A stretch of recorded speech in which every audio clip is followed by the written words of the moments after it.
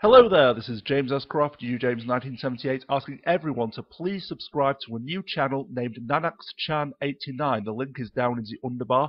Chelsea's old channel was shut down by YouTube without warning or notification purely and solely because it had too many matched third-party content videos. I'll say that again. YouTube shut down Chelsea's old channel for no other reason than because it had too many matched third party content videos. For the love of the great holy donkey. People get away with hate speech on this website every fucking day of the year.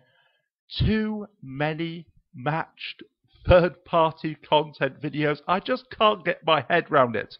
Um, Chelsea and her sister, Beloved Star 18, both make vocal covers here on YouTube.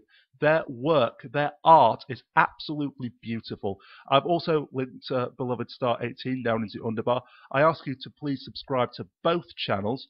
Um, Beloved Star 18, uh, her video first informed me of this latest insanity committed by YouTube.